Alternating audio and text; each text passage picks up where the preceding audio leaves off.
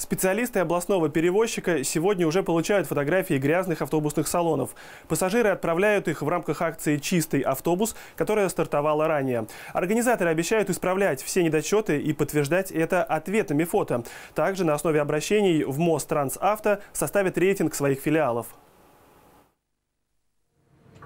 Отправить снимки можно в официальные группы Мострансавто в соцсетях или на электронную почту предприятия. Ее адрес вы сейчас видите на экране. К фото нужно прикрепить информацию о номере маршрута автобуса и его госномер. Компания обещает отреагировать на каждое сообщение и отправить пассажирам фотоотчет о проделанной работе. Специалисты Мострансавто рассматривают акцию «Чистый автобус» как способ онлайн-контроля, который поможет сделать поездки на общественном транспорте комфортнее для пассажиров. Первый этап акции продлится до 7 декабря. По его итогам будет будет составлен рейтинг филиалов компании. Те, в чей адрес поступит больше жалоб, будут поставлены на особый контроль.